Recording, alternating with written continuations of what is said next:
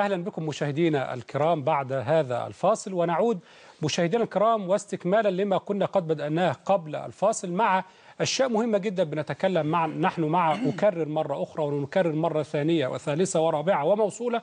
نحن مع دعوة الزحف إلى فلسطين نحن مع دعوة الزحف إلى نصرة المسجد الأقصى ولكن نقول هناك ترتيب للأولويات. وإحنا بنقول يعني السيد خالد مشعل وهو من قيادي قياد أحد قيادات حماس القيادات الكبيرة جدا وهو بيقول إحنا لابد إن مصر وشباب مصر وأهل مصر إن هم يركزوا على إصلاح الجبهة الداخلية بداية حتى تعم الفائدة على العالم العربي والإسلامي وتكون في هذه اللحظة نصرة للمسجد الأقصى ونصرة للقضية الفلسطينية. طيب أعود مع فضيلة الشيخ عاطف حضرتك كنت بتتكلم عن فلسطين في السنة وكنت حضرتك عايز تعلق على بعض الاتصالات التي وردت إلينا في الفقرة الأولى. هو بس استكمالا لما ذكرناه من الفضائل التي وردت على لسان النبي عليه الصلاة والسلام, عليه الصلاة والسلام. في شأن المسجد الأقصى. من كونه ثالث ثلاثة وإلى القبلتين مصر النبي عليه الصلاة والسلام إلى غير ذلك. وكذلك قول نبي الله سليمان عليه وعلى نبينا الصلاة والسلام أنه دعا ربه بعد أن بان البيت المقدس. دعا الله ثلاثا دعاه حكما يصادف حكمة وملكا لا ينبغي لأحد من بعده. وأن لا يأتي أحد البيت لا يريد إلا الصلاة إلا خرج من ذنوبه كيوم ولدته أم. فهذه كلها فضائل تدل على فضل ومكانة هذه البقعة المباركة وأن لها من القداسة ما المسجد الحرام والمسجد النبوي سواء بسواء. كذلك يعني لفت نظري في تعليقات أو اتصالات الإخوة الأكارم الأخت اللي اتصلت ابتداء وقالت إن ربط القضية بالإسلام نعم. وإنها مسألة عقدية. في تقرير. وكذلك الأخ اللي يعني بيقول أنصح الشباب بثلاث بتقوى الله والعمل في بناء الدولة ومعاونه غير المسلمين. ده كلام اولا يدل على إن المجتمع واعي مدرك حامل القضية بفكر ووعي. وده أمر ينبغي أن يشاد به وأن يفعل أكثر وإن إحنا إن كنا بفضل الله تعالى أزحنا الظلم عن رقابنا فينبغي أن نعلم إنه الشعب المصري أو الشعوب العربية عموما عليها دور أكبر يعني المرحلة القادمة تحتاج دور أكبر من مما مضى. يعني على سبيل المثال مثلا في في في في, في أوروبا الموظف الأوروبي بيصفي في العمل وده إحصائيات من من سبع ساعات ونص ل 8 الا ربع. في في للأسف الإحصائيات العربية بتقول إن الموظف العربي من من من نص ساعة لاقل من ساعة. فما ينفعش الكلام ده بعد كده. المفروض المسلم وديننا يحثنا على الإتقان والعمل والسعي. وقل اعملوا فسيرى الله عملكم. إن الله النبي صلى الله عليه وسلم إن الله يحب إذا عمل أحدكم عن اتقن إلى غير ذلك من هذه الأحاديث. كذلك قضية الشباب ووعيهم وفكرهم في في علم الجغرافيا الهرم السكاني دايما بيقيسوا تقدم الأمم وقوتها وقدرتها على العمل بالقاعدة العريضة فيها. يعني على سبيل المثال الصين بتواجه أكبر مشكلة في حياتها. إن الهرم السكاني القاعدة الكبيرة عندها الشيوخ آه عندها الأطفال والشباب يكاد تكون النسبة منعدمة. الأمم العربية مصر على وجه التحديد الهرم السكاني فيها النسبة الغالبية العظمى فيها شباب. نعم. فدي دي أمر مهم جدا لابد أن يفعل وإن الشعب يشتغل وإن الشباب يتجه اتجاه صحيح.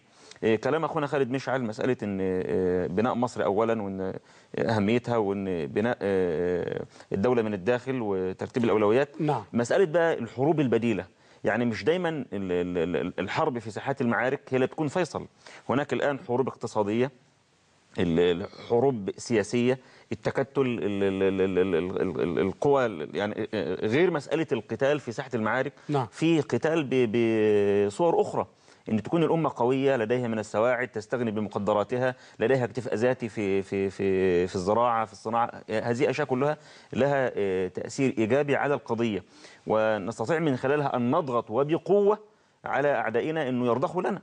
يعني أنا أذكر دايما أذكر قصيدة لأحمد محرم سنة 42 لما فكرة إنشاء الجامعة العربية فكتب كلمات يعني أنا أذكر بها شباب الأمة اليوم حتى يرتبطوا بالماضي والحاضر كلمات يعني تدل على الأمل البسام المرجو من أمة الإسلام. يعني قال رحمه الله أمم العروبة جاء يومك فاعملي وإلى مكانك فانهضي وتقدمي لك في فم الأحداث دعوة صارخ ينفي القرار عن الشعوب النوم. فدع المضاجع وانفضي عنك الكرى وخذي السبيل إلى المقام الأعظم ضم القوى وتجمعي في وحدة عربية تحمي اللواء وتحتمي. هذا زمان ليس يفهم أهله إلا حديث النار أو لغة الدم. كثرت لغات العالمين وهذه أوفى بيانا في اللسان وفي الفم. والعدل أكثر ما يكون حديثه أنشودة الجاني ودعوى المجرم. أمم العروبة جد جدك فانظمي. من عقدك المنثور ما لم ينظم لك أن تسودي تحت رايتك التي خفقت لها الدنيا فسودي واسلمي فنسأل الله أن يرد الأمة وأن. يوصرنا بقضايانا وأن يوحد شملنا ويجمع وحدتنا. إنه على كل شيء آمين قدير. يا رب. اللهم آمين. يعني أيضا فضيلة الشيخ أحمد يعني في ونحن نتكلم عن فلسطين في السنة ونربط القضية الفلسطينية بواقعنا المعاصر ونربط القضية الفلسطينية وآلام وآمال القضية الفلسطينية والفلسطينيين ب أيضا بالتركيز على بعض المشاكل الموجودة عندنا هنا في مصر لأن إحنا زي ما بنركز وبنقول آه، بأن مصر هي القلب النابض للأمة الإسلامية. مصر هي القلب النابض للأمة العربية. فإذا صلحت مصر بالتأكيد سيصلح حال الدول العربية والإسلامية على وجه العموم وبالتأكيد في البداية القضية الفلسطينية. فنتكلم ونقول عن القضية الفلسطينية أيضا نذكر لأن إحنا بنركز الآن حينما نتكلم عن فلسطين في القرآن ونتكلم عن فلسطين في السنة وسنتكلم عن فلسطين في التاريخ وأشياء أخرى وإيه الواجبات وإيه أسباب النكبه التي ألام ألمت بنا وحلت بنا. إحنا بنقول الآن وبنعطي رسالة ونخاطب الشباب ونخاطب الآباء ونخاطب الأمهات ونخاطب الشباب ونخاطب الفتيات بإن القضية الأساسية الأولى عندنا هي قضية فلسطين آه، بسم الله والحمد لله والصلاة والسلام على رسول الله صلى الله عليه وسلم وبعد. آه، أستاذ ملهم قضية فلسطين مش معنى إن أنا بقول أنا مع الزحف بس مش دلوقتي إن أنا ببقى بحارب القضية أو إن أنا واقف ضد القضية لا، ابدا المعنى واضح. ابدا ابدا مم. ولكن أنا بقول إن عقيدتي لا تتم آه، إلا بايماني بهذه القضية مم. آه، قضية فلسطين أو بيت المقدس المسألة مش مسألة آه، أهل فلسطين لا أيوة. ده كل ما يحدث الآن في إثم مترتب على كل إنسان لا ينصر هذه القضية بما أتاه الله عز وجل من قوة. نعم. اللي بخل بمال أو بخل بمجهود أو حتى بخل بدعوة ده إنسان يأثم عند الله سبحانه وتعالى إنه لم ينصر قضية حتى بقلبه. يعني عايز قبل قبل ما أتكلم على موضوع إزاي النبي صلى الله عليه وسلم ربط لنا لا. القرآن ربط لنا إن المسألة مسألة عقيدة ودين آه، تفضل مع الإنسان آه، إلى أن يموت. آه، عايز أقول ابتداء مسألة مهمة جدا. ألا وهي النبي صلى الله عليه وسلم وضح لنا معنى مهم. النبي صلى الله عليه وسلم لما خرج هو والصحابة في غزوة تبوك النبي صلى الله عليه وسلم قال إن في مجموعة من الناس كانت في المدينة. قال النبي صلى الله عليه وسلم في شأنهم ما سبتم مسيرا ولا قطعتم وديا إلا كانوا معكم شاركوكم الأجر حبسهم العذر. آه، الناس دي يعني آه، يعني شالت من على كتافها إثم إن هي تخلفت عن الغزو رغم إن هي معذورة آه، ب- ب- بالنية الصادقة من جواها إن هي عايزة تنصر الدين حتى ولو كانت بالنية. ولما كان عندها النية الصادقة ربنا سبحانه وتعالى أعطى لها أجر كامل. لو رحنا للدين لو رحنا للقرآن كمصدر أساسي عندنا للتشريع هنجد دايما ربنا سبحانه وتعالى بيربط القضية دي قضية الأقصى وقضية فلسطين وقضية الشام بأهم قضايا المسلمين. تعال بس نشوف كده في قول الله سبحانه وتعالى والتين والزيتون وطور سينين وهذا. وهذا البلد الأمين. ده ربط بين ثلاث أماكن. والتين والزيتون بيت المقدس. وطور السنين مصر المكان اللي اتكلم فيه ربنا تبارك وتعالى مع موسى عليه الصلاة والسلام. وهذا البلد الأمين مكة أدي الربط بين الأصول العامة للمسلمين. جميل، الله، لو الله. رجعنا الأوائل سورة الإسراء هنجد ربنا سبحانه وتعالى يقول سبحان الذي أسرى بعبده ليلة من المسجد الحرام. ده ديني. المسجد الحرام ده أعظم بقعة على وجه الأرض آه، إلى المسجد الأقصى علشان يكون في ربط دائم بين هذا الأمر نعم. آه، النبي صلى الله عليه وسلم يقول لنا مثلا لا تشد الرحال إلا إلى ثلاثة آه، بقاع أو إلى ثلاثة مواطن مسجد الحرام المسجد النبوي ومسجد الأقصى أدي الربط الربط دايما بين الأصول العامة للمسلمين. آه، المسجد الحرام ده أهم البقاع وأحب البقاع. نعم. وطالما هي أحب البقاع إلى الله يبقى ديني يقول لي أنت تحب اللي ربنا يحبه. طب ربنا بيحب البيت الحرام بيحب المكان ده أنا أحبه. آه، والمسجد الأقصى ومسجد النبي صلى الله عليه وسلم. آه، آدي الربط. آدي الربط. دايما تجد المعنى ده موجود جدا في القرآن موجود جدا في السنة.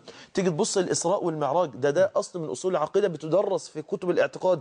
مسألة الإسراء والمعراج ونؤمن أنها حق. ده كان للمسجد الأقصى عشان كل شوية يذكر. آه، ربنا تبارك وتعالى يقول ولقد بوأنا بني إسرائيل مبوأ صدق. مبوأ صدق ده أرض المقدس آه، الشام. ربنا سبحانه وتعالى يقول وجعلنا ابن مريم وأمه آية. وآويناهما إلى ربوة ذات قرار ومعين. كان أبو هريرة رضي الله عنه بالفهم العالي بتاعه يقول إلزموا هذا المكان الذي جعله الله سبحانه وتعالى مبوأ صدق لبني إسرائيل وربوة تؤمن مريم وابنها. يعني سبحان الله معاني مهمة جدا. صحيح. ويجي النبي صلى الله عليه وسلم يفضل يأكد لنا على المعاني دي. أهم معنى أنا لا يصح أبدا إيماني إلا بوجود الأصل النبي ذكره في حديث جبريل وأن أؤمن باليوم الآخر. ما الإيمان؟ قال أن تؤمن بالله وملائكته وكتبه ورسله واليوم الآخر. من اليوم الآخر ده أهم مرحلة مرحلة الحشر. هتبقى من هناك من أرض الشام. أرض المحشر والمنشر كما قال النبي صلى الله عليه وسلم بلاد الشام. ده ده أصل مهم. النبي صلى الله عليه وسلم لما يقول مررت ليلة أسري بي على عمود من نور تحمله الملائكة كأنه اللؤلؤ. فقلت للملائكة ما هذا؟ قالوا هذا عمود الإسلام. آه، ابن آه، العز بن عبد السلام آه، رحمه الله بيقول عمود الإسلام هو الدين. نعم. فقلت للملائكة إلى أين تذهبون بهذا العمود؟ قالوا أمرنا أن نضعه بالشام. فأصل الإيمان موجود في هذه الأرض. النبي صلى الله عليه وسلم لما. يقول لنا يا طوبى للشام يا طوبى للشام يا طوبى للشام. فقلنا وبما ذاك يا رسول الله؟ قال تلك الملائكة باسطوا أجنحتها آه، على الشام. آه، أهل العلم. بيقولوا ده دي يعني الأمر ده مش موجود إلا في مكانين المدينة والشام. كما قال الإسلام في شأن المدينة موجود في الشام. نعم. ده كله عشان النبي يربط لنا هذا الأمر بهذه البقعة المباركة.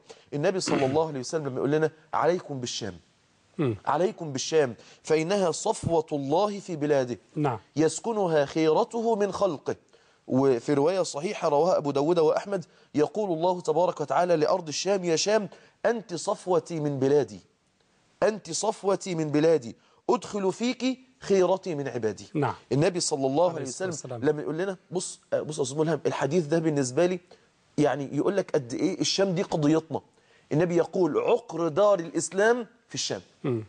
عقر دار الإسلام في الشام. يبقى ده معناه إيه؟ معناه إن الناس تنسى القضية؟ لا. معناه الناس تنسى قضية فلسطين؟ معناها الناس تنسى المسجد الأقصى؟ معناه الناس ما تحذرش من المخاطر المحيطة بالمسجد الأقصى؟ ده ده, ده عقر داري. جميل. عقر دار الإسلام كما قال ربنا النبي صلى الله عليه وسلم. أحمد ولكن يعني عليكم بالشام وأنا أقول علينا بالبناء وعلينا بالعمل.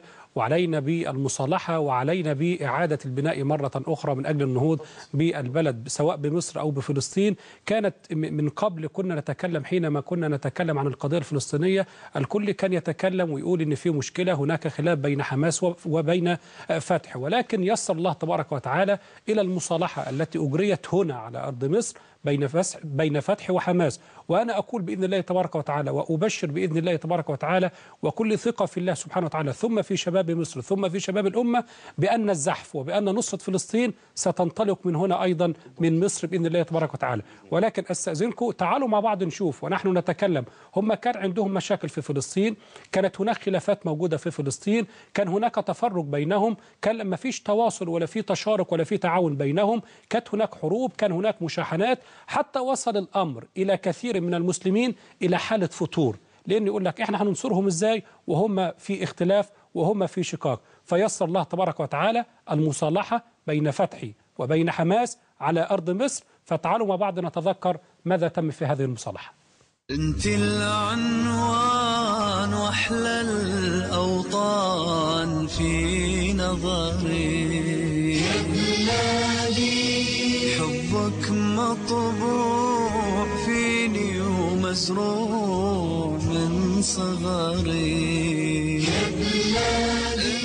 وما عاد بالإمكان تقبل استمرار الاحتلال الإسرائيلي للأراضي الفلسطينية.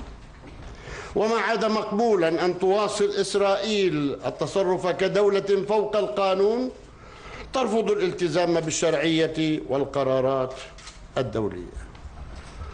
وأود هنا أن أؤكد.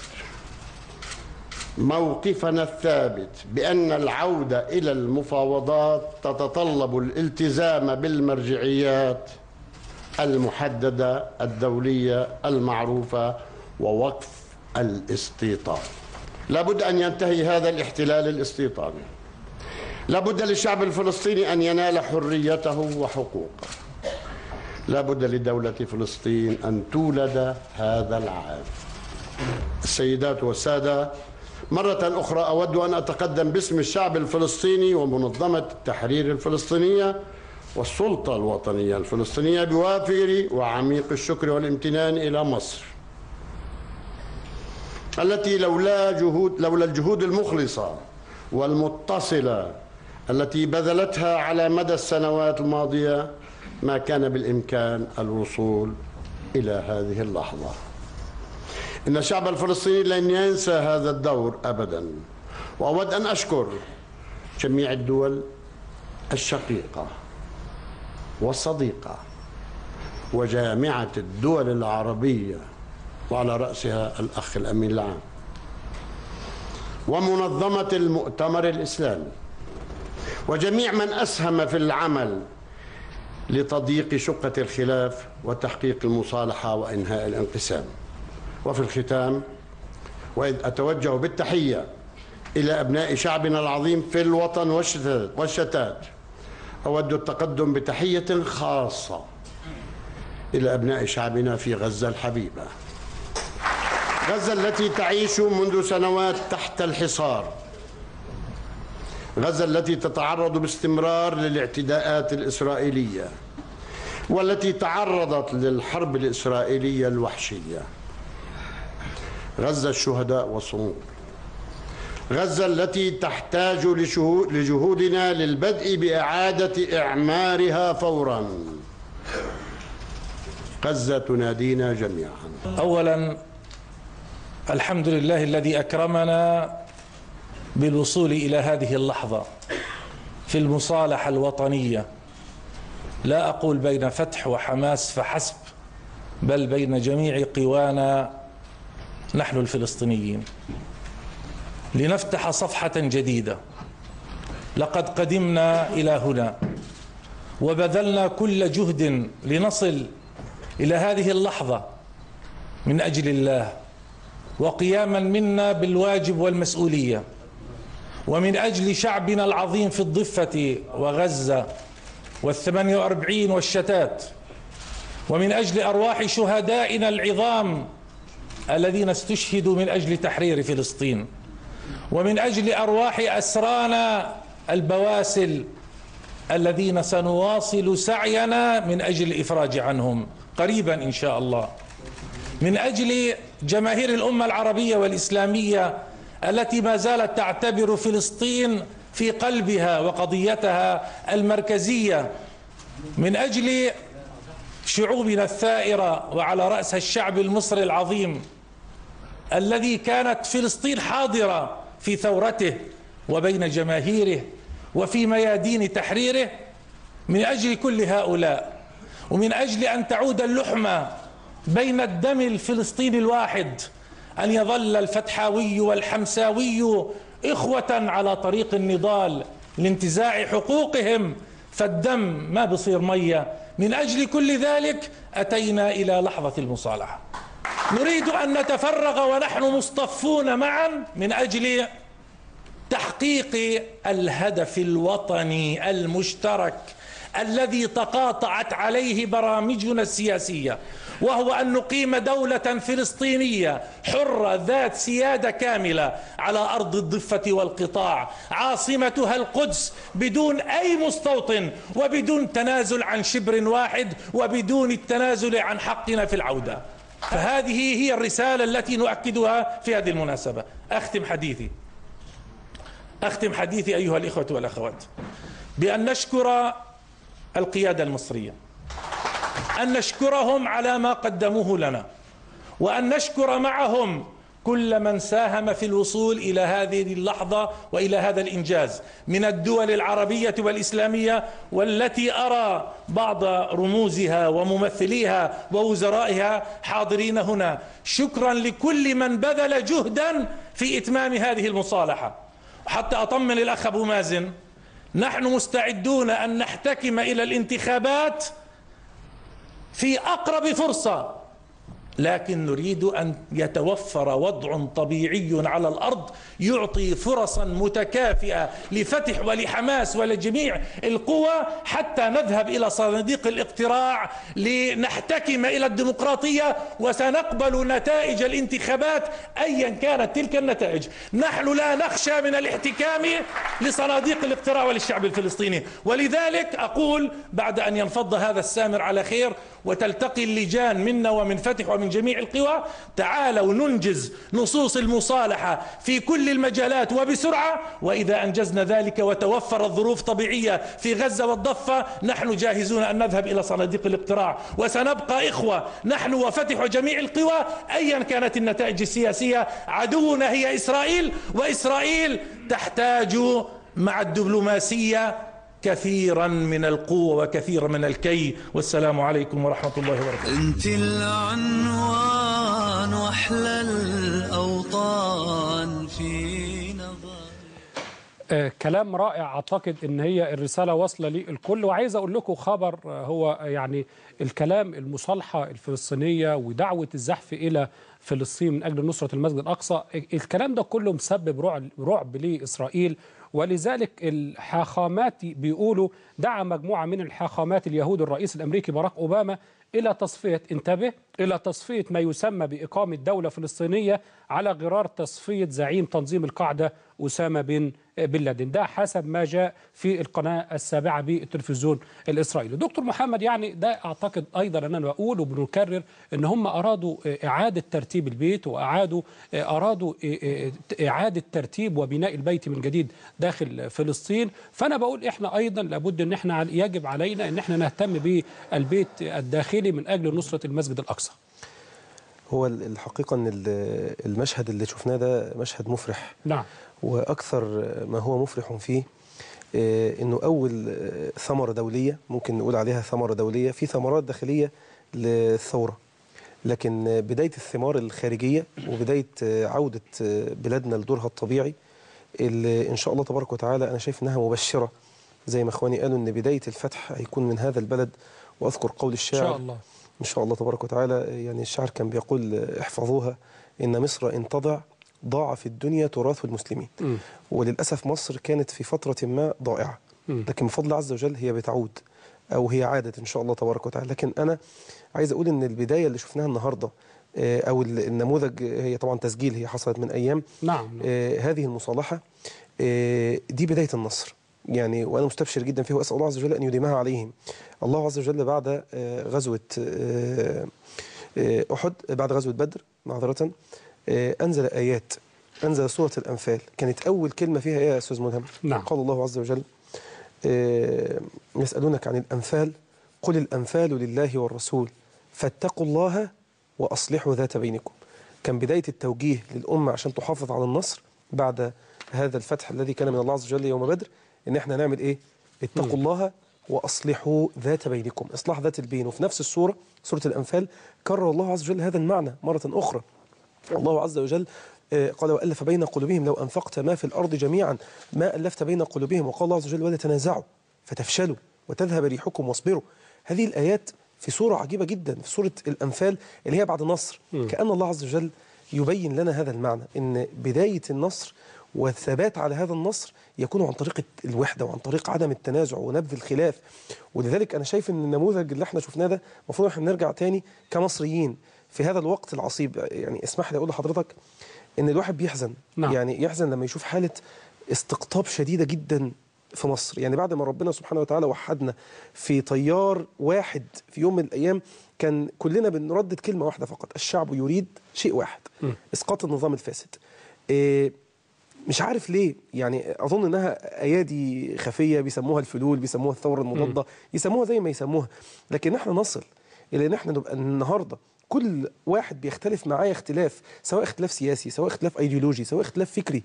يتحول لعدو يتحول بلادنا اللي كانت متوحدة والحمد لله عز وجل بهذه الوحدة اللي كانت كل الاتجاهات كل الاتجاهات تقريبا. يعني يمكن بعض ال ال الأفراد كانوا بره لكن الجميع كانوا تحت آه، مظلة واحدة وكان ال- ال- الملهم ليهم في الوقت ده أو الإحساس اللي بيجمعهم آه، القلب النابض كان في ميدان التحرير نعم. على معنى واحد إن إحنا نزيل الظلم ونزيل الفساد. فجأة التفتنا لبعض. التفت لفلان. آه ده فلان اختلف معايا في قضية واختار اختيار معين. ده فلان علماني. ده فلان ليبرالي. ده فلان كذا ده. فلان كذا. الكل و- بيشكك في الكل. آه على رأي بعض الشباب قالوا خدمة صنفني شكرا. زي آه، ادفع لي شكرا وكلمني شكرا. صنفني شكرا. يعني أي ما أول ما هقول يمكن أنا دلوقتي في ناس مستنية تصنفني. أنا بقول الكلمات دي آه ده الدكتور محمد بيقول آه، يعني ما نقولش على العلمانيين علمانيين لا. اللي, اللي والله أعلن وجهر بعقيدة فاسدة لازم ان إحنا نرد عليه ونعلمه. لكن مش هينفع ابدا نفضل في حالة الاستقطاب دي مش هينفع نفضل في حالة التفرق دي. يعني يا ريت إحنا استضفنا إخواننا الفلسطينيين عشان نصالحهم على بعض. وفي الآخر إحنا نتخانق. في الآخر آه ده إحنا لازم آه، نقول فلان كذا ولازم نطلع غلط ده. وتلاقي حملة إعلامية شرسة على الوحوش الكاسرة السلفيين. لازم كله يحذر منهم ولازم كله يقول على. أفعالهم. رعب رعب. كان كان في فترة فاتت كان في فزاعة اسمها الإخوان دلوقتي في فزاعة اسمها السلفيين. بل حد من الشباب كتب تعليق ده ما طلعوش فزاعة ده طلعوا هم الفزع نفسه. كان إحنا أصبحنا فزع بالنسبة للناس وعلى العكس ده أي شيء الآن بينسب للسلفيين ده أنا عايز حاجة. أقول حاجة بسيطة يعني. إحنا هنفاجئ بقى أساسا إحنا دلوقتي كان هدم الاضرحه يقول لك السلفيين آه. هدم مقابر يقول لك السلفيين. أي مشكلة سلفيين؟ الأمر دخل دلوقتي في كرة القدم.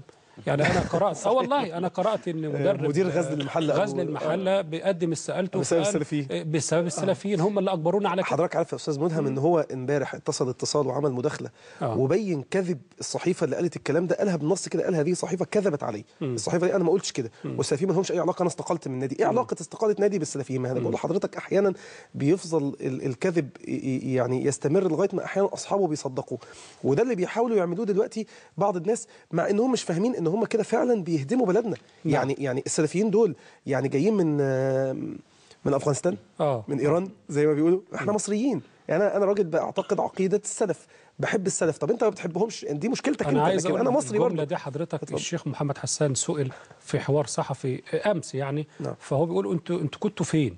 أنتوا طلعتوا مرة واحدة. إحنا كنا فبيقولوا أنتوا أنتوا أنتوا اللي كنتوا فين؟ أنتوا بتسألونا إحنا موجودين بقالنا موجودين في- 30 و40 و50 سنة صحيح، موجودين صحيح. وما شاء الله رب العالمين موجودين في الشارع والثمار واضحة. فانتوا اللي مش موجودين أنتوا اللي كنتوا مغيبين آه. لكن أنا عايز أقول ال ال إحنا مش عايزين نقول أنتوا يعني أنا ضد جدا دلوقتي الفترة آه. دي كلمة أنتوا وإحنا إحنا عايزين يعني ننسى شوية مسمياتنا يعني عجبني جدا أحد ال ال هو دلوقتي أصبح من المسؤولين هو كان مجرد آه، إن هو أستاذ جامعي ومفكر اللي هو الدكتور معتز بالله عبد الفتاح راجل محترم جدا مستشار سياسي رائع. دلوقتي أصبح مستشار سياسي بتاع ال- الدكتور عصام رئيس شرف. الوزراء، آه، مستشار الدكتور عصام شرف للشؤون السياسية. قال كلمة جيدة جدا. قال لماذا نتفرق قبل أن نتحد؟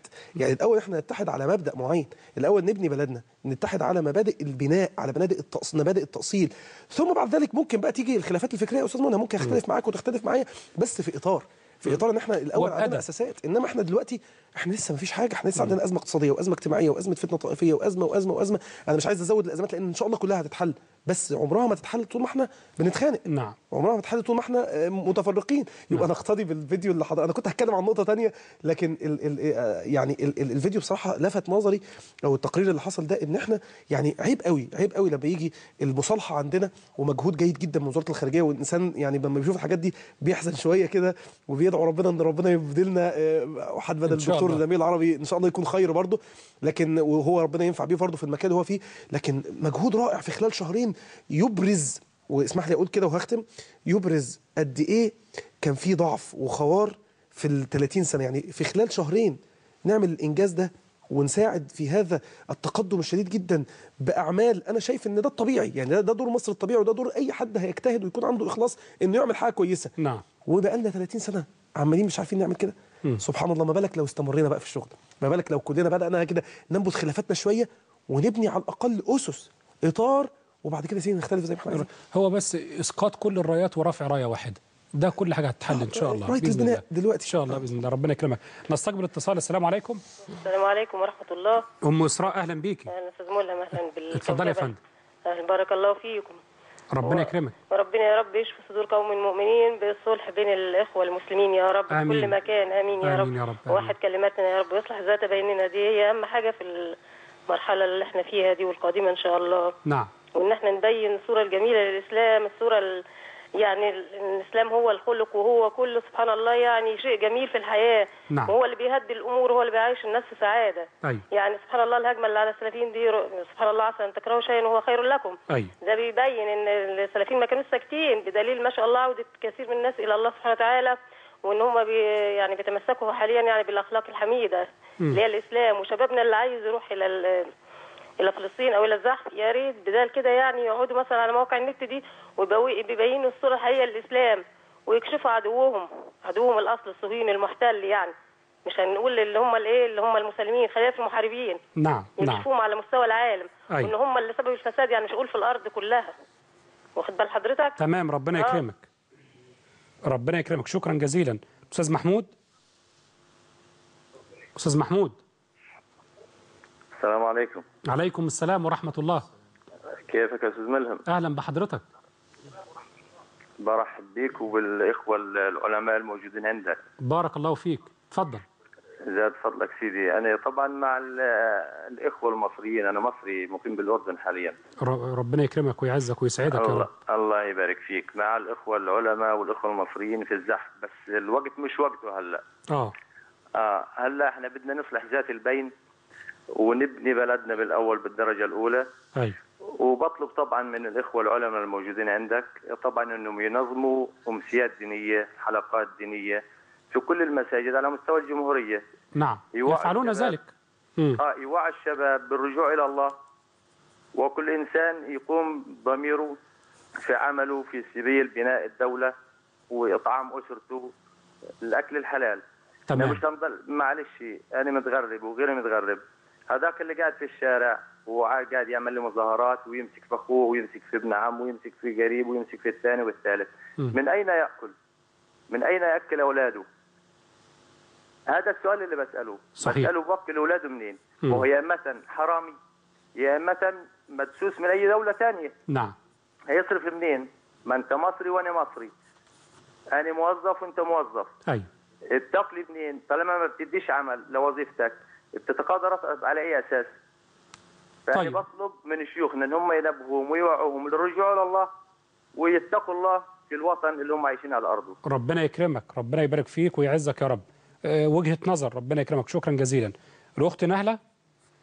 السلام عليكم ورحمة الله وبركاته. وعليكم السلام ورحمة الله. بارك الله فيك يا أستاذ ملهم وبارك الله في ضيوفنا الكرام بارك الله فيك. اتفضلي. لو سمحت لي أستاذ ملهم بداية أقول إن فلسطين جزء مجزأ من الإسلام. كيف لا وبها يوجد المسجد الأقصى أولى القبلتين وثاني المساجد ومصلى أنبياء الله. لذلك كان لزاما علينا أن نتحرك ونسعى جاهدين لتحريرها وتطهيرها من أيدي أعداء الله. لكن ينبغي أن يكون هذا بحكمة. فليس من الحكمة أن نذهب لنحرر فلسطين ونطهرها من أيدي أعداء الله. ونحن في مرحلة نبني فيها مصر. ونطهرها من الظلم والظالمين ونضمد جروح المجروحين من الذين فقدوا أبناءهم في ثورة يناير نحن لا نريد أن نجرح قلوبا أخرى إننا نعم. نحب فلسطين لكن خطوة محسوبة خير من ألف خطوة غير محسوبة مم. فمكة كانت أحب بلاد الله إلى رسول الله ثم أخرج منها إلى المدينة وقويت شوكة الإسلام وكثر عدد المسلمين هناك وأصبح ناصروه كثر لكنه لم يرجع لمكة فاتحا إلا في الثامنة من الهجرة. فلتكن لنا دروس وعبر من هذا الفتح. وجزاكم الله خيرا والسلام شكراً. عليكم ورحمة الله وبركاته. عليكم السلام ورحمة الله وبركاته. شكرا جزيلا.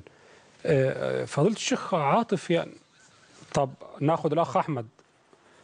أستاذ أحمد. السلام عليكم. عليكم السلام ورحمة الله. كيف حالك يا أستاذ ملهم؟ الحمد لله. أهلا بيك. اتفضل وسلمنا على الأخوة اللي معك. بارك الله فيك. أنا أحمد من مصر أنا أردني ب- الأردن م- من مصر أنا قاعد في الأردن. أهلا بيك. وأنا أحكي للشباب مصر يا ريتهم يضبطوا شوية حتى نفك الأزمة اللي في مصر هاي. أيوه. يا ريت تقول لهم كده يا شيخ.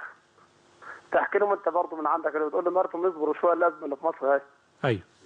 والفلسطين برضه جوا قلبنا والله فلسطين آه. والله أنا ذات نفسي قاعد هنا في, الأردن ولسه برضه حرر فلسطين والله. بس نصبر شوي. بس نصبر شوي اما نظبط حتى مصر كده ون... ونشوف اللي هيحصل في مصر الأول. إن شاء الله بإذن الله. ربنا يستر كل شاء الله عسير بإذن شاء. الله. ويا آه، تحكي لفلسطين هنا برضه في الأردن. والله الواحد بيشتغل معاهم هنا. ويعني الواحد بيشتغل معاهم بالمصاري وبعدين بي- بياكلونا بمصارينا. يا ريت حتى توجه لهم انت رسالة برضه من عندك. الفلسطينيين في الأردن والله واكليننا بمصارينا طيب حاضر. طبعا التعميم طيب شكرا جزيلا. فضيلة الشيخ عاطف إحنا محتاجين ونحن نتكلم الآن عن يعني ربط القضية الفلسطينية بواقعنا الآن بواقع مصر والأزمات اللي موجودة. وأسأل الله تبارك وتعالى أن ييسر كل عسير يا رب وأن يفرج الكرب. اللهم أمين. اللهم أمين. اللهم أمين. نريد أيضا وإحنا بنتكلم الآن وزي ما بقول لحضرتك وبنقول لكل مشاهدينا إحنا بنخاطب الكل على مستوى العالم فمحتاجين نعرف القضية الفلسطينية وفلسطين من خلال التاريخ. عشان نتعلم وعشان نفهم. هو بس لو تسمح لي نعم. قبل ما نخش على التاريخ وده من حق الشباب آه، لا سيما الصغار في السن يعني ان يعرفوا تاريخ آه، هذه الأرض المقدسة.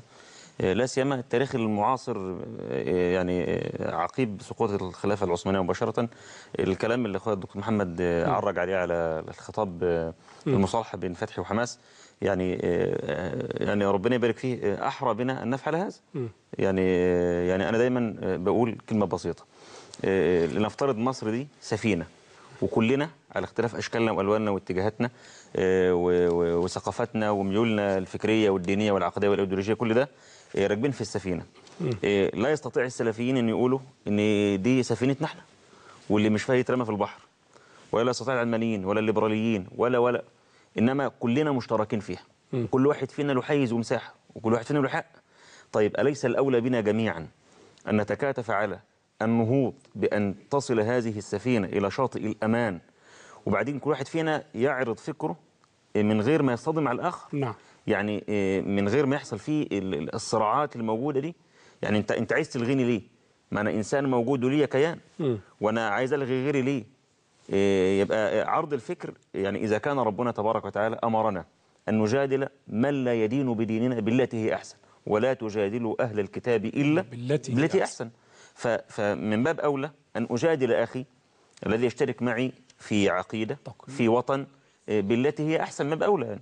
فده مهم جدا. مسألة بقى إنه آه، البلد بايظة والدنيا آه، هذه اللغة التشاؤمية لا يحبها الإسلام.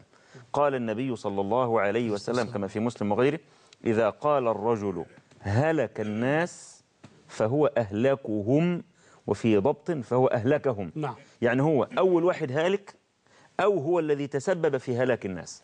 فلازم نعرف التشاؤم. يعني آه، مصر وغيرها من بلاد الإسلام مرت بمحن أشد من هذه. نعم. ومع ذلك نهضت.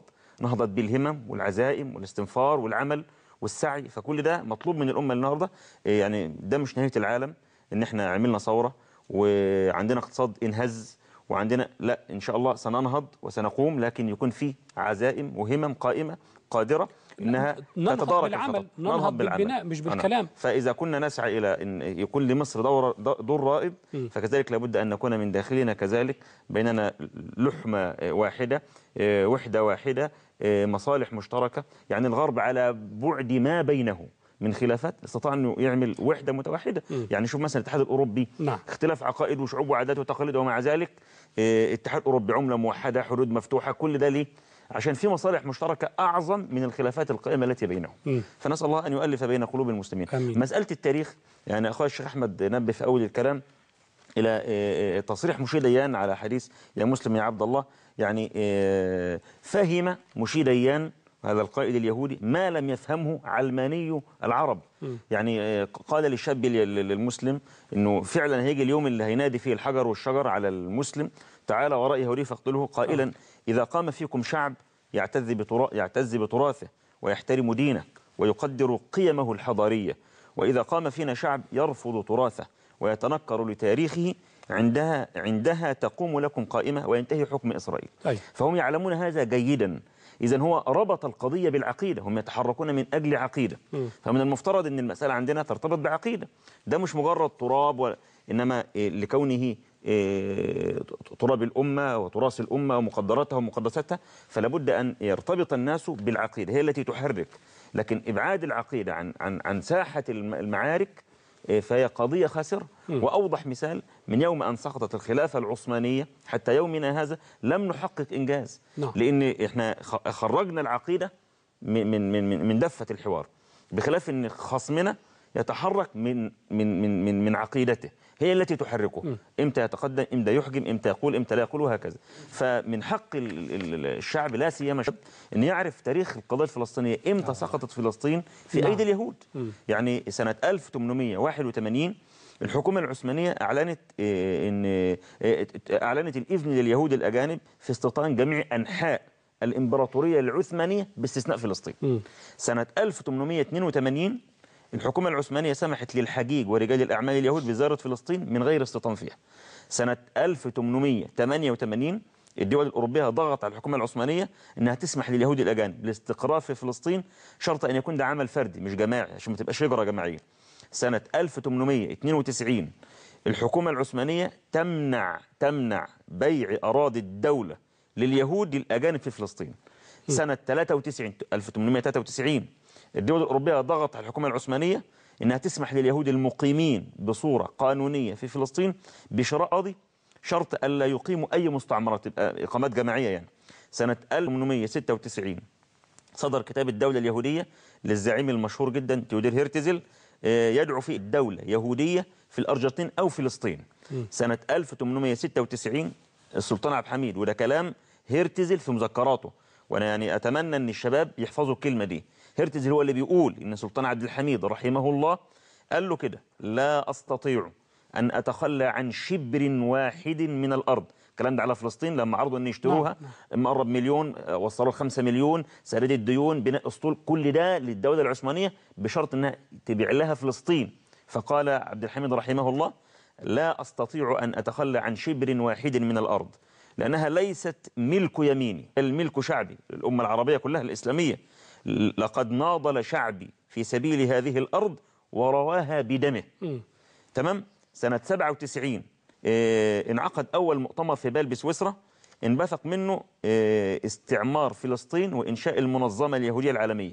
1901 الحكومة العثمانية تسمح لليهود الأجانب تحت ضغط الدول الأوروبية أنها تشتري أراضي فلسطين. سنة 1910 الصحف العربية في بيروت تعلن معارضتها لحملة الصهاينة على ال- ال- ال- على الأراضي الفلسطينية. سنة 16 اتفاق سايكس بيكو التي ضم بمقتضاها تقسيم الأراضي الفلسطينية. سنة 17 وعد بلفور المشؤوم الشهير. إيه، الذي وصفه عبد الوهاب الكيالي في كتابه تاريخ فلسطين الحديث قال من أغرب الوثائق الدولية في التاريخ آه. إن منحت بموجبه دولة استعمارية أرضا لا تملكها لجماعة لا تستحقها على حساب من يملكها وهو الشعب العربي الفلسطيني مما أدى إلى اغتصاب وطن وتشريد شعب بكامله على نحو ليس له سابقة في تاريخ العالم. جميل. ثم تتالت الأحداث بعد ذلك. طيب. هذا التاريخ ينبغي أن يعرفه آه، هذا الشباب وهذا هذه أرضنا هذه كل شبر فيها ملك لكل مسلم. وينبغي أن ندافع عنها بكل ما استطاع لكن كما تفضلت وتفضل الإخوة الأكارم في البداية المسألة محتاجة ترتيب وأولويات نعم. وبناء قوة حتى يكون لنا قدر يعني أنا أستغرب جدا دولة صغيرة كفرنسا لها حق الفيتو والدول العربية بطولها وعرضها من مشرقها لمغربها ومن أقصاها لأقصاها ليس لها القدرة على أن تمثل وأن يكون لها حق الفيتو يعني دول عربية تسير في ركاب الدول هذه دول عربية ليست نعم. بالقلة الاقتصادية ولا ولا ولا عدد السكان ولا الجغرافية ومع ذلك ليس لها قوة. نريد صحيح. أن تكون لنا قوة سياسية واقتصادية وعسكرية. ده, ده بيدفعنا فضيلة الشيخ آه، يعني من كلام حضرتك أتوجه به للدكتور غريب عن أسباب النكبة يعني إن صح لنا التعبير أن نقول ذلك. أهم الأسباب التي أدت بنا إلى إلى أن وصلنا إلى هذا الحال اللي يعني مش عايزين نقول أي وصف ولكن عايزين نقول إن إحنا في قدامنا أشياء كثيرة من أجل النهوض بالأمة.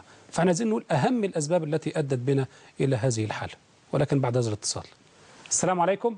وعليكم السلام ورحمة الله وبركاته أستاذ أهلا منى. بحضرتك. أهلا وسهلا. معك محمد ماجد من السعودية بارك الله فيك. أهلا بيك.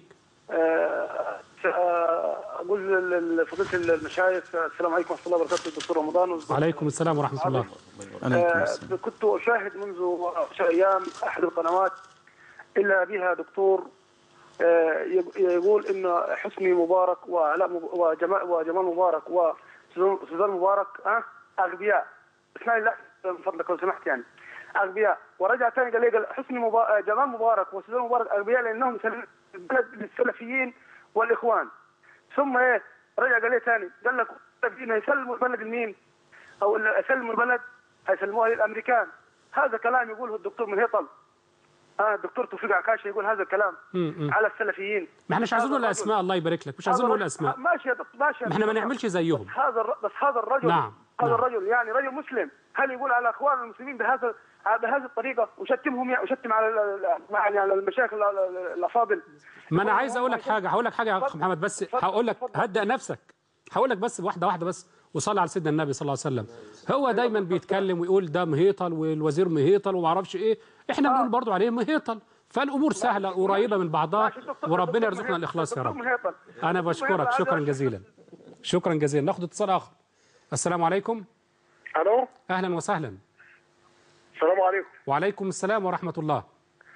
إزيك يا أستاذ محمد؟ أخبارك يا أستاذ ملهم أهلا بيك اتفضل. أهلا وسهلا. النبي أنا بس نفسي أقول لحضرتك يعني كلمتين أقول لحضرتك حاجة برضو يعني اعذرني. أنا أنا أنا من الشيخ بس أنا بتعلم من مشايخنا.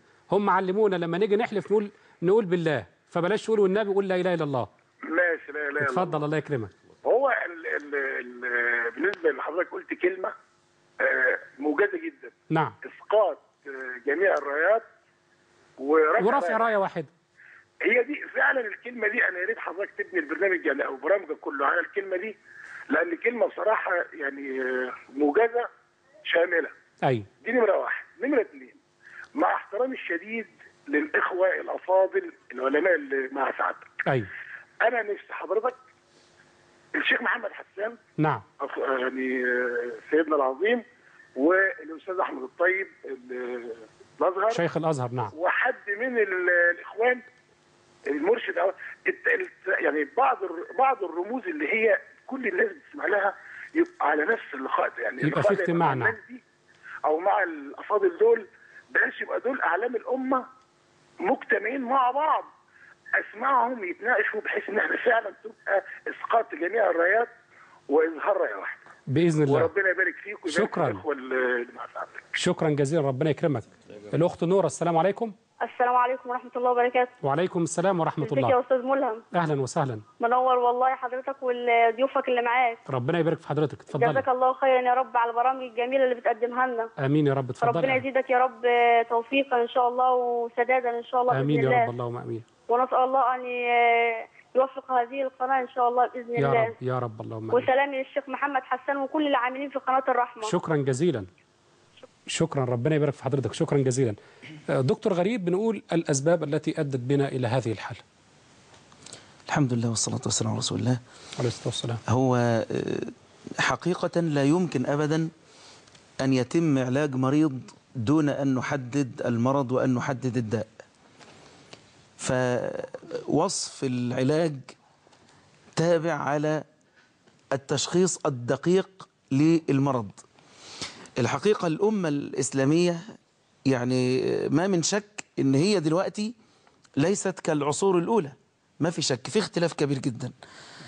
ال ال الف يعني لما نيجي ننظر مثلا الأمة الإسلامية في صدرها وقوتها وعنفوانها وسيطرتها وهيمنتها وإن الدنيا كلها دانت لها والآن الوضع مختلف تماما. طيب إيه اللي وصلنا؟ إيه الأمراض والأوجاع التي نعم. أوصلتنا إلى ذلك؟ إيه المشاكل اللي وصلتنا لكده؟ هناك يعني آه، أبدأ في في في طرح هذه الأسباب من كلام النبي عليه الصلاة والسلام. والسلام. وهذا الحديث حديث صحيح مشهور جدا جدا لكن محتاجين نسمعه. محتاجين نسمعه. هو حديث صحيح مشهور وكم ذكرناه في أكثر من لقاءات. نعم. آه، يقول النبي عليه الصلاة صلى والسلام الله عليه وسلم. يوشك أن تداعى عليكم الأمم كما تداعى الأكلة إلى قصعتها. فقيل أمن قلة نحن يومئذ يا رسول الله؟ فقال لا بل أنتم يومئذ كثير. يعني العدد ضخم جدا والعدد كبير جدا ولكنكم غثاء كغثاء السيل. يعني لو جينا نبص لحقيقة لقوة حقيقية موجودة مش موجودة بل أنتم على الكثرة ضعفاء. بل أنتم كثير ولكنكم غثاء كغثاء السيل. ولا ينزعن الله المهابة منكم. ده لأنه غثاء فعلا ده يفسر ليه غثاء. ولا ينزعن الله المهابة منكم من قلوب أعدائكم. أي. ما فيش ال- ال- الرهبة التي كانت ينام عمر بن الخطاب في بدو- بدون حراسة وملوك الروم تخشاه والكلام الكلام ده كله راح. ونسأل الله عز وجل أن يعيد المجد لأمتنا. يا. اللهم أمين يا رب العالمين.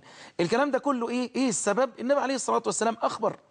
ولا ينزعن الله المهابة منكم من قلوب أعدائكم. برضو يفسر أكتر. ولا يقذفن في قلوبكم الوهن. إحنا عارفين يعني لغة الوهن ده يعني الضعف.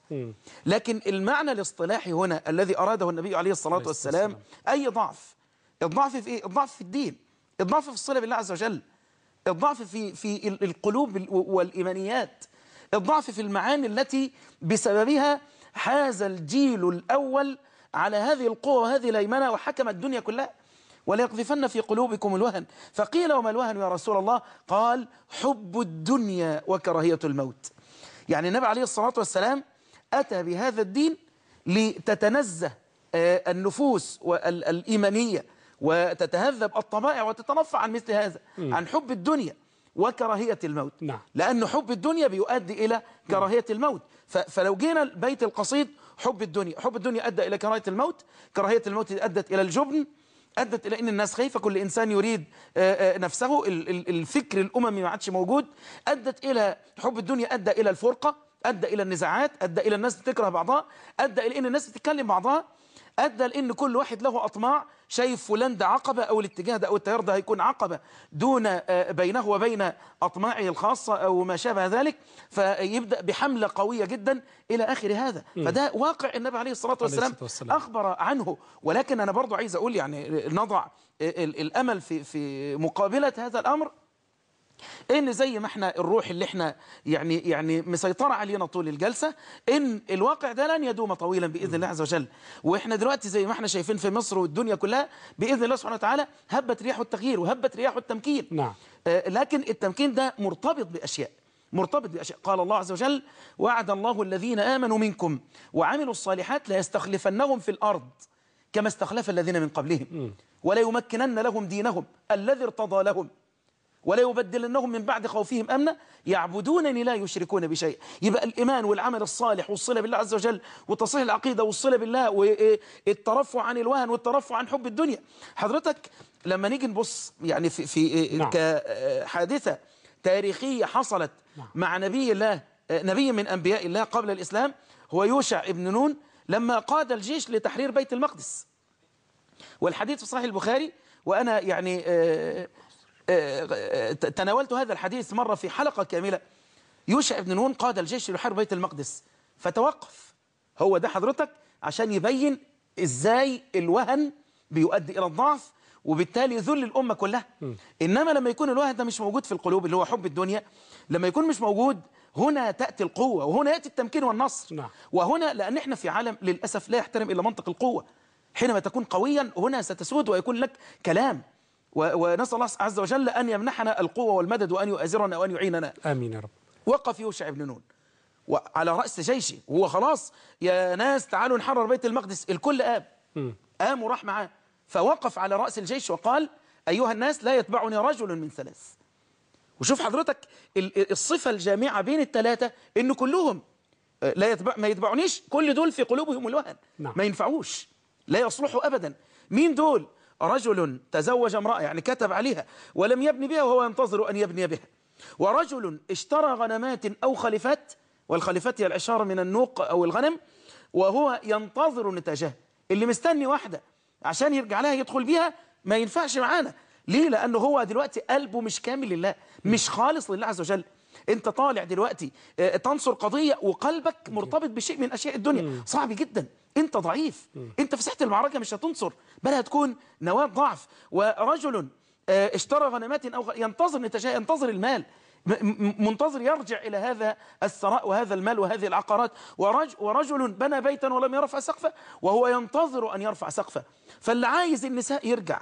اللي عايز الأموال يرجع اللي عايز الدور والقصور والفلل وصعبان عليه يرجع من دلوقتي لأن دي قلوب متعلقة نعم. بالدنيا فده كلام النبي عليه الصلاة والسلام ده السبب الرئيسي للنكبة التي نعيشها الآن نعم. في فلسطين وفي كل حتة في أرض الإسلام أسأل الله تبارك وتعالى أن تتعلق قلوبنا بالله سبحانه وتعالى. ولا تتعلق بأحد من المخلوقين علق قلبك بالله ولا تعلقه بالمخلوقين فمن توكل عليه كفاه ومن اعتصم به نجاه ومن فوض إليه الأمر هداه.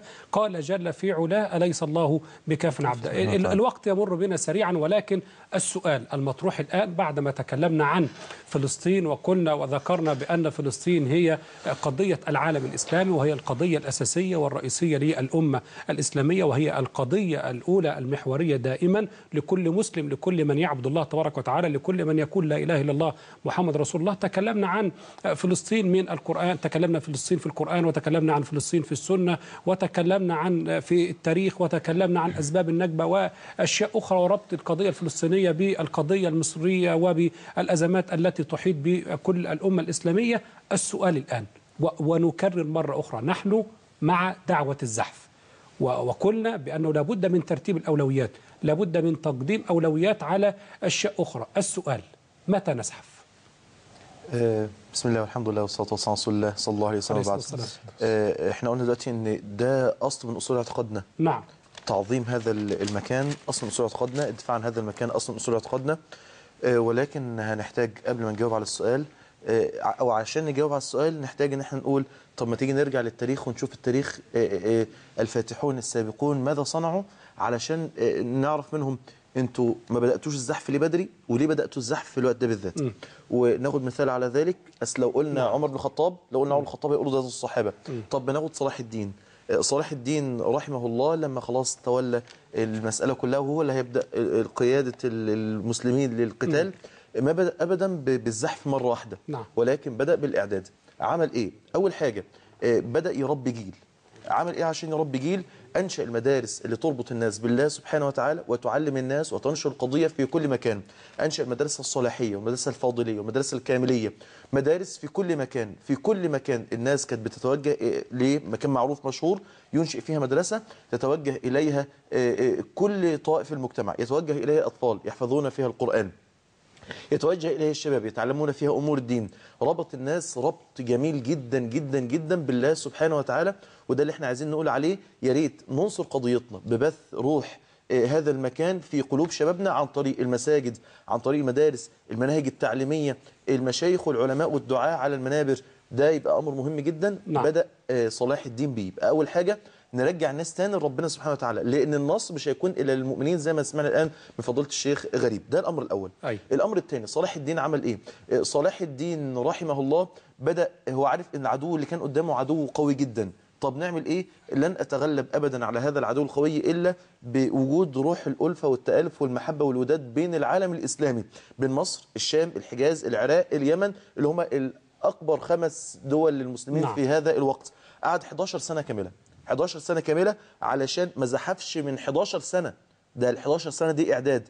قعد 11 سنة وبعد 11 سنة ربنا كل مجهوداته ان خلاص الكل اتحد ما شاء الله ربنا وفقه. أهم نقطة وعايز أختم بيها عشان برضو أفتح نعم. مجال لمشايخنا أهم نقطة إيه، إنه ما اهتمش بالجانب الديني بس لا ده اهتم بالجانب الاقتصادي واهتم بالجانب الزراعي واهتم بالجانب السياسي واهتم بكل الجوانب دي علشان يقدر يبني دولة قوية تقف مع أهل الشام. علشان كده اللي يرجع لسير صلاح الدين هيجد أنه أنشأ مستشفيات في كل مكان. آه، أنشأ آه، آه، ترع عشان الزراعة والكلام ده في كل مكان. إذا الراجل ده كان فكره تفكير عالي جدا وده الفكر إحنا عايزين نقوله لشبابنا. إن المسألة مش مسألة زحف وبس ده المسألة إحنا محتاجين فيها إعداد إعداد ديني اثنين إعداد اقتصادي ثلاثة إعداد سياسي واجتماعي نعم. وبث روح القضية في قلوب كل شبابنا. لو قدرنا نعمل كده إن شاء الله أنا بقول كل واحد فينا هيجتهد. ده بيقدمنا من الزحف خطوة إن شاء الله. إن شاء الله. في النهاية دكتور محمد ماذا تقول؟ آه، المسألة واضحة جدا والحلقة يعني كلها اجتمعت على معنى مهم جدا. متى وكيف نزحف؟ أنا عايز أقول نقطة لو إحنا بنتكلم في الختام على مسألة الإعداد إحنا اتفقنا على إن مفيش حاجة اسمها زحف بدون إعداد ومفيش حاجة اسمها زحف من غير ما نكون على قدر المسؤولية في هذا الزحف. آه، الشيخ أحمد جلال ضرب مثل بصلاح الدين الأيوبي. آه، صلاح الدين استطاع أن يزحف واستطاع أن يزحف آه، الجيل اللي كان مع صلاح الدين لأن صلاح الدين لم ينتصر وحده. صلاح الدين انتصر بجيل كامل. إمتى؟ لما كان في قلوبهم أمر ده اللي لابد الآن من أهم الأمور التي نركز عليها مع إخواننا ومع شبابنا. صلاح الدين لما جه يقول حديث متسلسل بالابتسام لشيخه نور الدين محمود زنكي لم يبتسم. فقال أكمل الحديث مع إن الحديث فيه لفظ الابتسام يعني لازم يبتسم. قال أبتسم أو أضحك والمسجد الأقصى أسير كان عنده روح. هذه الروح هي اللي لازم تكون موجودة الآن فينا ولازم تكون مفعلة ولازم تكون آه، آه، يعني كل إنسان بيعمل حاجة في حياته الآن وهو بيعد العدة وهو بيذاكر وهو آه، بينفع وطنه وهو بينفع أمته لابد إن هو داخله يكون عارف كويس جدا إن هو بيعمل الأمر ده وهو بيعد بهذا العدة. هو كده بيؤجر على هذا. صلاح الدين آه، رحمه الله تعالى لما زرع الروح دي في هؤلاء الشباب لما زرع الروح دي في هذا الجيل هذا الجيل أصبح عنده المعنى اللي قلناه في أول حديث يا أستاذ ملهم اللي هو أول حديث ذكرناه خالص من مات ولم يغزو ولم يحدث نفسه بالغزو مات على شعبه من شعب النفاق هم خلاهم يحدثوا نفسهم. فلما جه يحتاجهم لما جه حصل موقف عجيب جدا لما جه يحتاجهم ولما جه حصل إن الصليبيين كانوا جايين باختراع عجيب جدا بأشرعة لا تحترق يبعت عليها النفط ما بتحترقش حاجة عجيبة جدا هم كان عندهم تقدم علمي لا شك في هذا. فعمل إيه؟ نادى. مين اللي كان معد يا جماعة؟ مين اللي كان مذاكر زي ما بيقولوا؟ مين اللي كان عامل حسابه إنه هي هيفضل في يوم من الأيام آه، الأمة هتحتاج لقوته. شاب صغير جدا عنده 17 سنة اسمه علي ابن عريف النحاسي. نعم. راجل أبوه نحاس راجل بسيط جدا لكنه كان مركز. مم. كان عايز ينفع أمته بشيء. اخترع اختراع اخترع مادة تقاوم هذا الاختراع الذي فعله الصليبيون. والقصة مذكورة بطولها عند ابن كثير في البداية والنهاية. الشاهد اللي عايز أقوله جه صلاح الدين يكافئه ويديله مبلغ من المال قال له إيه؟ قال ما فعلت هذا إلا ابتغاء وجه الله لا أريد منك شيئا. ما فعلت هذا إلا لأنصر ديني وأنصر أمتي. الله الله الروح دي لما تبقى موجودة الآن في شبابنا وهم بيذاكروا. لما تبقى موجودة الآن وإحنا بنتوحد وبنتآلف والكلام اللي قاله الشيخ أحمد نفعله. لما تبقى موجودة فينا كلنا إحنا في كل عايزين. نعد. مم. عايزين نعد. والله والله يا أخي الشاب وهو بيذاكر هياخد أجر الإعداد. ال- الصانع وهو بيصنع هياخد أجر الإعداد. المخترع العالم السياسي نعم. الاقتصادي كل دول هيبقوا نموذج ما دام قلوبهم جواها حدث نفسه إن شاء الله. بالغزو. ربنا يكرمك. فضيله الشيخ وبس أنا أخونا الشيخ أحمد ما رضاش يضرب مثل في الإعداد بجيل الصحابه عشان الناس تقول لك دول صحابة وعاشوا وسط النبي والاجيال اللي بعدها واللي بعدها وجا عند صلاح الدين م. أنا أقول لا نبعد عن صلاح الدين ونقرب قوي م. حرب أكتوبر اللي هي المفترض نعم. في تاريخنا إحنا العاشر من رمضان م. وأنا بقول العاشر من رمضان ده تحديدا وبأكد عليها لأن الربط بالعاشر من رمضان ده يوم مهم جدا بالنسبة لنا جيش مؤمن. واحد يقول لي طب ما كان في نصارى موجودين في آه نعم كان في نصارى موجودين في قلب الجيش ودول لا نشك في وطنيتهم. ولكن الهدف آه كان واحد. آه الهدف كان واحد الهدف كان واحد. م. تحرير مصر تحرير سيناء إيه، دحر العدو الذي تجبر و- و- و- وأذل الأمة العربية من سنة 48 م. إيه، والسادات إيه، و- و- وإعداده على طول الفترة القادمة. إيه، وأنا أعرف كثير جدا من أبائنا وأصدقائنا إيه، سواء من جنود مشاركين، نعم. لا زالوا أحياء بينا وكانوا نعم. مشاركين هذه الحرب تدرس الآن في في في ال- ال- ال- الكليات العسكرية في في. في أمريكا وغيرها إيه، المستشار الروسي لما جه وشاف خط بارليف قال ببساطة جدا هيموت من عندكم 15000 جندي م. أنا فاكر أظن تقريبا يا دكتور محمد يوم الفتح كان عدد القتل أقل من 50 في مصر نعم. وأغلبهم كانت أخطاء مش قتلى من من وعدوه بسلم. آه وعدوه ثلاثة بسلالم يبقى كان في زي ما الدكتور محمد قال آه، كان كان في روح. إيمان. إي- إي- إي- روح إيمانية قوية نعم. جدا. آه، زي ما الشيخ أحمد قال كان في عقيدة بتحرك. نعم. آه، وهدف. أخذوا بالأسباب. م. توكلوا على الله سبحانه وتعالى. فدي نماذج حية اهي. وحرب إحنا إحنا المصريين اللي خاضوها. أي. ورفعت رأس العرب وكان لنا عزة. وكلمة السادات ما أخذ بالقوة لا يرد إلا بالقوة. فاحنا محتاجين الأمة النهاردة تتفعل. نعم. آه، عبد الناصر عبد الناصر. كل واحد فينا يؤدي دوره. إيه، زي ما الدكتور محمد قال الطالب الصانع الله يعزك إيه، اللي بيكنس الشوارع. نعم. يؤدي دوره لأنه هيؤدي إلى نظافة المجتمع. ما فيش انتشار اوبئه أو أمراض. إن الله يحب إذا عمل كل واحد فينا يؤدي دوره. ما حدش يتكل. المجتمع المجتمع. يا أخي لو أنت في مثل مشهور جدا في الفلاحين يعني آه، أنا أنا أبغضه جدا. ويبغضه الإسلام وكل عاقل. إن خرب بيت أبوك خد لك منه قالب. ده مثل تخريبي قذر. لا ده نخرب أحط فيه قالب. يعني لا أكون معول هدم إنما أكون أداة بناء. نعم. كل واحد فينا لا تنظر إلى الآخرين. لكن أنت هتعمل إيه؟ الأستاذ ملهم عليه إيه؟ عاطف عليه إيه؟ الدكتور وهكذا. فكل واحد فينا يشوف إيه؟ ما ما ما باستطاعته أن يؤديه لأمته من غير أن ينظر إلى الآخرين. فعلوا أم لم يفعلوا لا يهمه القضية. المهم نعم. انه يؤدي. قال النبي عليه الصلاة والسلام إذا قامت الساعة وفي يد أحدكم فسيلة فسيلة دي اللي هي نبتة النخل الشتله الصغيره وانتوا عارفين النخل 10 سنين على ما تطلع طم البلح مم. يعني عمر طويل مش مثلا قرع بعد شهرين هتخلي هتجيب قرع ولا بطاطس بعد 30 مم. ثلاث نعم، شهور. لا. وفي يد أحدكم فسيلة فإن استطاع أن يغرسها فليفعل. نعم. ليه ومين اللي هيجمع ومين اللي هيروي؟ مش قضيتك المهم إن أنت نعم. أديت حاجة. آه، دكتور غريب. أنا سعيد الشيخ عاطف ما شاء الله حافظ الأمثلة وبتطلع بعد كم سنة وكم شهر. ما شاء الله. أهو ده من الإعداد يعني. نعم. مم. ف- فأنا عايز أقول يعني الإخوة ربنا يبارك فيهم يعني هم قالوا إن الإعداد في كل المجالات المجال العلمي المجال العسكري المجال الاقتصادي في كل المجالات يعني واضح جدا. وأنا أنا عايز أقول برضو لإخواننا اللي هم الشباب وأقول لنا جميعا آه، إن ال- ال- ال- الزحف قادم قادم والنصر قادم نصر متحقق ما في شك في هذا. نعم. وأنا أذكر وأنا عايز أقول إن كل اللي بيساهم وبيعد هيقول طب إمتى؟ طب أنا عايز ما تستعجلش الثمرة. فمسألة عدم استعجال الثمرة ده, ده أمر مهم جدا. ليه؟ إن الثمرة ستأتي ستأتي. طب افرض أنا مت قبل أن أحصلها وقبل أن أراها ليه أجري؟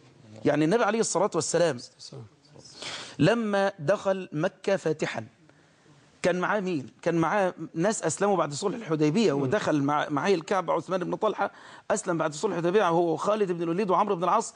آه، آه، دول دول المنتصرين نعم. فقط؟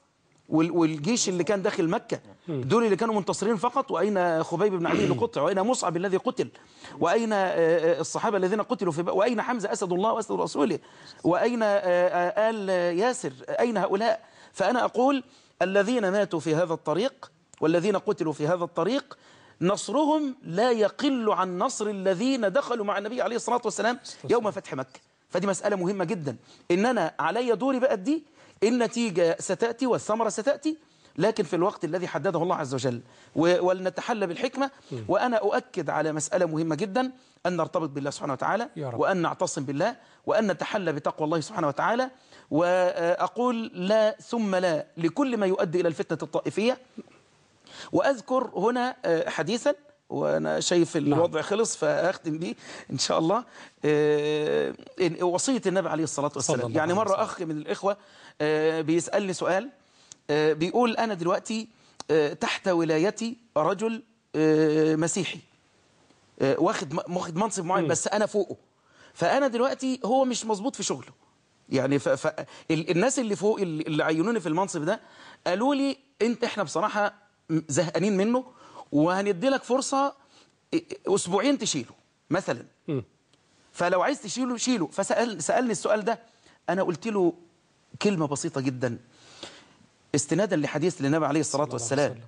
وأنا عشان الدنيا كلها تعلم الشباب السلفي أو الدعوة السلفية زي ما بيسمونا آه، آه، يعني وإن شاء الله عقيدتنا دي دي عقيدتنا بإذن الله سبحانه وتعالى. آه، آه، كيف يتعاملون مع هذا الواقع ومع آه، الآخرين الذين ليسوا على دين الإسلام؟ قلت له أنا عايز حضرتك تتخيل إنك رحت المدينة والتقيت برسول الله صلى الله عليه وسلم. السلام. فسألته هذا السؤال فسمعت منه هذا الحديث. استوصوا بقبط مصر خيرا الله فإن الله لهم الله. ذمة ورحمة. الله الله الله. فأنا هقول له فلان ده تخيل الحديث بقى النبي ما قالش قبط مصر. لا قال لك استوصي بفلان القبطي خدت بال حضرتك؟ خيرا فإن له ذمة ورحمة. فهي دي نفسيتنا. نعم. ودي, ودي طريقتنا وده ده فهمنا وده تعاملنا. ودي الرحمة اللي علمنا إياها. الإسلام. صلى الله عليه وسلم وصلى الله على عليه نبي الصلاة الإسلام والسلام. محمد صلى الله عليه وسلم. يعني ده آه، مشاهدينا الكرام يعني أعتقد أن الرسالة واضحة لكل المشاهدين في كل مكان. هذا هو المنهج وهذا هو المنهج السلفي وهذا هو آه، وهذه هي وسطية الإسلام وسماحة الإسلام وعدل الإسلام والرؤية الإسلامية في آه، كل القضايا المثارة على الساحة المصرية والعربية والإسلامية. تكلمنا مشاهدينا الكرام نهاية بكلمات بسيطة حتى نلخص ما قلناه.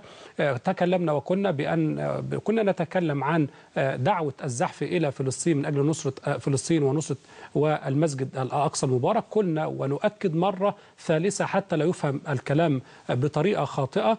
كل المشايخ ما شاء الله تبارك وتعالى آه، القناة وكل العاملين الكل مع دعوة الزحف الزحف لأن هذا معتقد هذا معتقد وهذا دين. فنحن مع الزحف إلى فلسطين من أجل نصرة فلسطين ونصرة المسجد الأقصى المبارك وأسأل الله تبارك وتعالى أن يرده إلينا في القريب العاجل. اللهم أمين. ولكن لابد من الإعداد لابد من ترتيب الأولويات لابد من الإعداد في كل مناحي الحياة وفي كل مجالات الحياة. وهنا أقول لو حورب دين على وجه الأرض بمثل ما حورب به الإسلام ما بقي له على وجه الأرض من سبيل. لو حورب دين من الأديان الباطلة بمثل ما حورب به الإسلام ما بقي له على وجه الأرض من سبيل. من أول لحظة والإسلام محارب. لكن الله أهلك كل من وقف في طريق الإسلام وأبقى الله الإسلام وسيظل شامخا إلى أن يرث الله الأرض ومن عليها. ألا إن نصر الله قريب. مشاهدينا الكرام في نهاية هذا الجزء الأول من هذا اللقاء المفتوح. نشكر فضيلة الأستاذ الشيخ أحمد جلال شكرا جزيلا. والشكر والتحية والتقدير لفضيلة الدكتور محمد علي شكرا جزيلا. والشكر والتحية والتقدير لفضيلة الشيخ عاطف صابر شكرا جزيلا. والشكر والتحية والتقدير لفضيلة الدكتور غريب رمضان شكرا لكم جميعا. وانتظروا في الجزء الثاني مشاهدينا الكرام آه، فضيلة الشيخ الدكتور مظهر شهير وفضيلة الشيخ دكتور عبد الرحمن الصاوي وفضيلة الشيخ آه، أحمد الطوخي. وأسأل الله تبارك وتعالى وفضيلة الشيخ علي قاسم ما نقدرش ننسى الشيخ علي قاسم دي تبقى مشكلة كبيرة. أسأل الله تبارك وتعالى أن يوفق الجميع. مشاهدينا الكرام شكرا لكم والسلام عليكم ورحمة الله وبركاته. الأقصى الأقصى.